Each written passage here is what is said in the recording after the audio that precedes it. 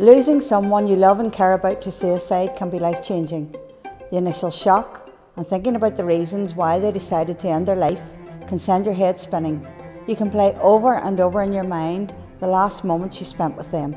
World Suicide Prevention Day on the 10th of September is a time to remember our loved ones lost to suicide and a time to give hope to people affected. Asking and getting help at the right time is important to help us explore situations and discuss solutions. Solving problems can play a critical role in preventing suicide and improving our mental health.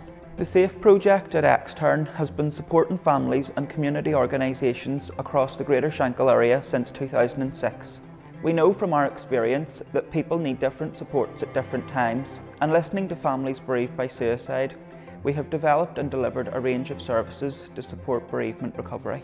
Many families find helping with practical things like home visiting, talking therapies, complementary therapies, training and organising community events to promote help seeking and address the stigma will reduce the incidence of suicide in the community.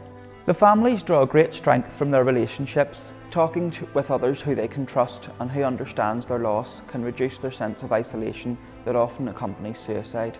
They meet on a weekly basis and access services as part of their care plan in a safe and confidential environment.